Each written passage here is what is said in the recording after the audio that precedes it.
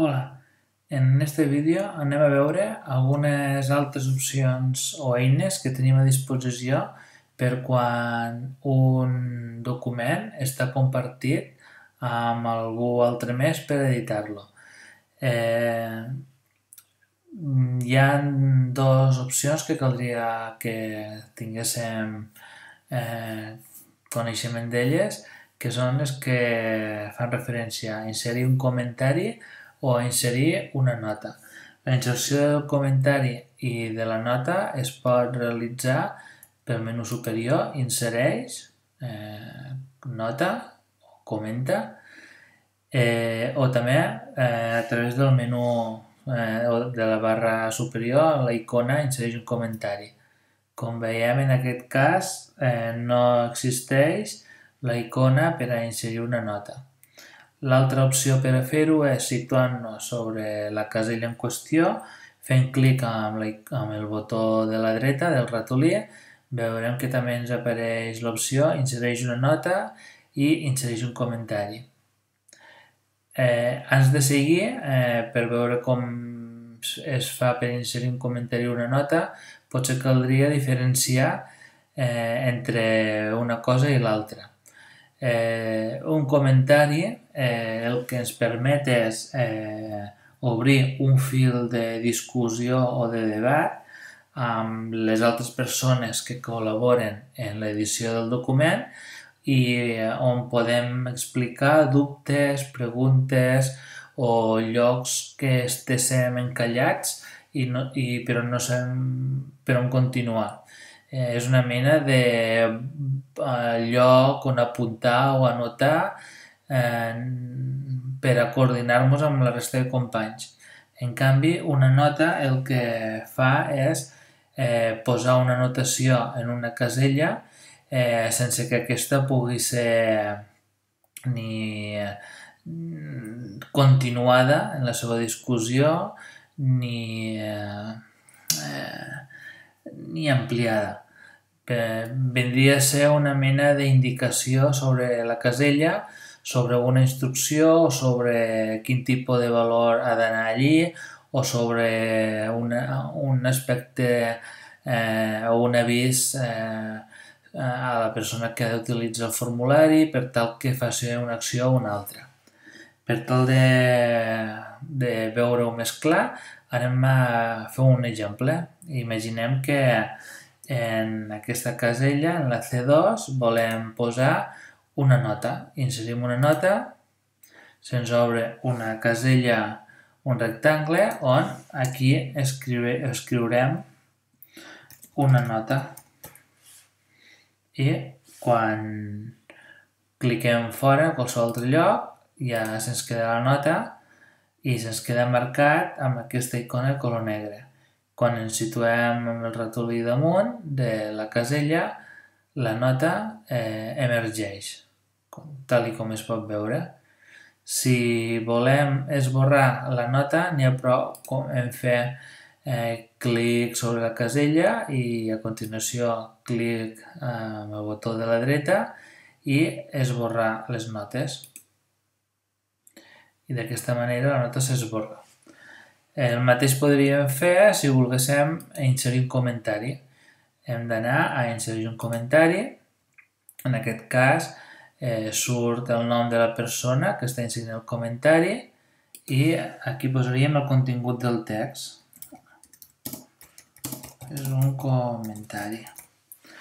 Una vegada l'hem posat, hem de fer clic a comenta i a diferència de la nota, la casella ens queda amb un color groc i la icona també no és negra, és groga, que indica que hi ha un comentari.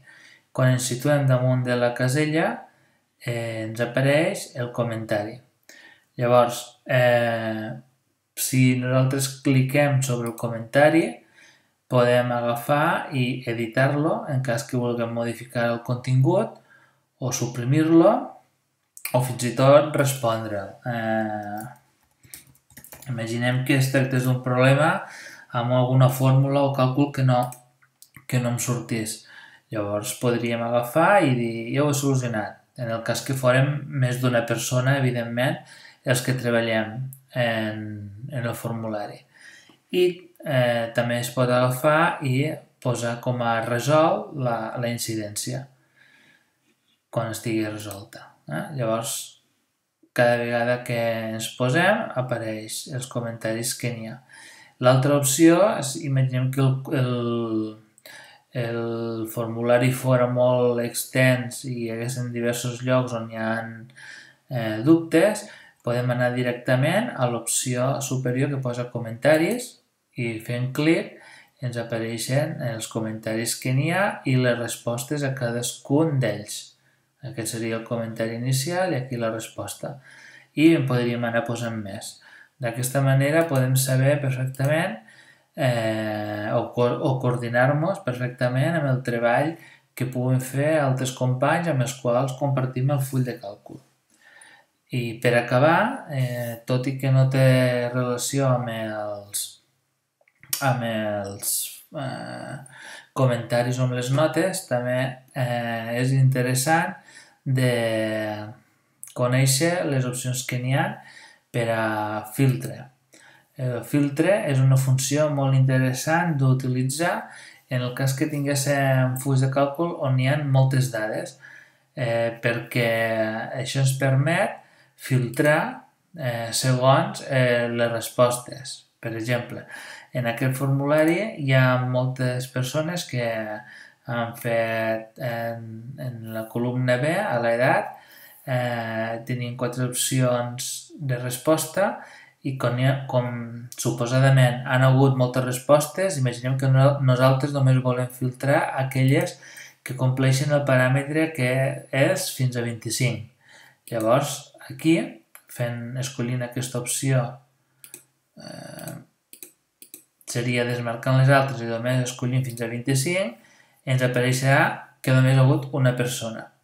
D'aquesta manera, aquí la icona ens explica que hem aplicat un filtre i aquest filtre el podríem modificar, podríem posar fins a 25 i a més que també ens mostrés de, 20, de 31 a 40.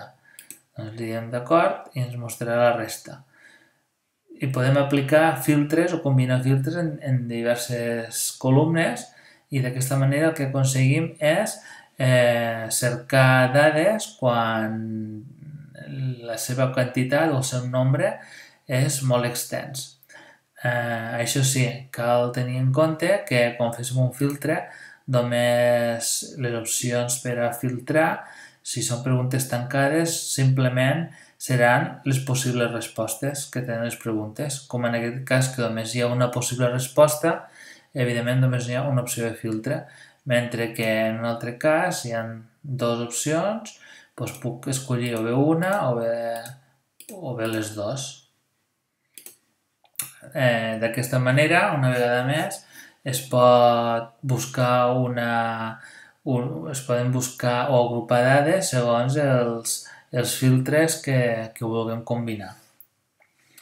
Eh, tot i que aquesta última funció de filtres no té a veure amb, la, amb les que hem vist, de comentaris i notes, eh, és important conèixer-la perquè també forma part de, de la barra d'eines i eh, en determinades ocasions ens pot ser molta utilitat. Fins a la propera.